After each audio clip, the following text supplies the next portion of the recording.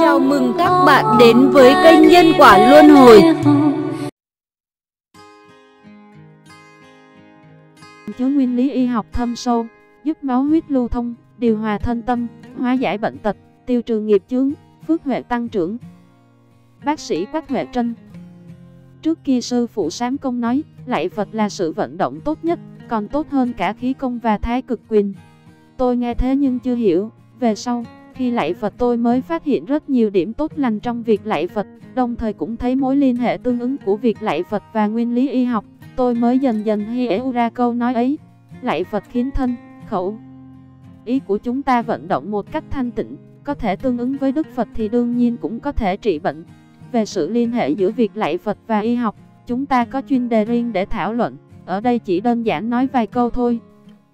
Tinh thần của con người hiện đại rất căng thẳng, bị nhiều áp lực, cơ bắp của toàn thân không nhạy cảm là do bị buộc chặt, hơn nữa vì thiếu vận động, toàn đốt xương sống cứng đơ rất khó uốn cong.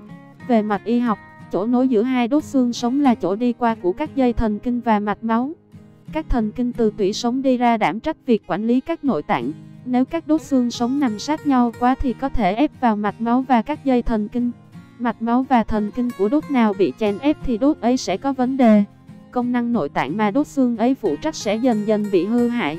Do vì tư thế không đúng, cơ bắp bị chèn ép khiến cho xương sống cũng bị ép, máu không lưu thông, thần kinh cũng bị ảnh hưởng, cho nên không thể cung cấp cho các tế bào nội tạng đủ chất dinh dưỡng và dưỡng khí.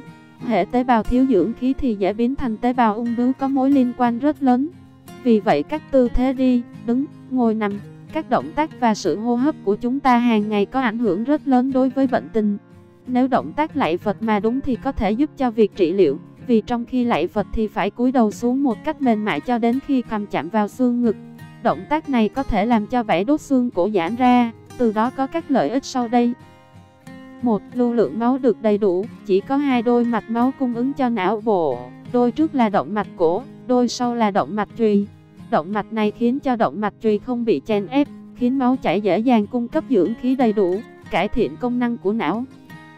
2. Tủy dịch của não, xương sống được lưu thông, tủy dịch não, xương sống tuần hoàn bên ngoài tủy sống và não, vào đến các tầng dịch thể của não thất bên trong. Có 4 công năng, 1. Điều tiết sức ép của não, 2. Bảo hộ não, 3. Cung ứng chất dinh dưỡng, 4. Thải các phế vật. Nếu tư thế của đầu, cổ không tốt, góc độ không đúng, sự lưu động ấy gặp trở ngại thì não và tủy sống như ngâm trong nước dơ, áp lực của não cũng không bình thường, dễ bị đau đầu, choáng đầu. Động tác lạy Phật có thể giúp cho tủy dị CH của não và tủy sống lưu thông dễ dàng, khiến công năng của não được tốt đẹp, có thể chỉ huy khéo léo các tế bào của toàn thân. 3. Khiến cho các dây thần kinh từ xương cổ đi ra không bị ép, công năng tốt đẹp. Dây thần kinh ở các đốt xương cổ có quan hệ mật thiết với công năng ngũ quan, trái tim, huyết áp, khí quản, mắt, nước bọt dây thần kinh cánh tay cũng từ xương cổ, nếu bị chèn ép thì cũng sinh ra các chứng đau tê. Nếu thường lạy Phật cúi đầu mềm mại, kéo giãn các đốt xương cổ thì có thể trị các chứng bệnh nói trên. Bác sĩ Quách Huệ Trân Nam Mô A Di Đà Phật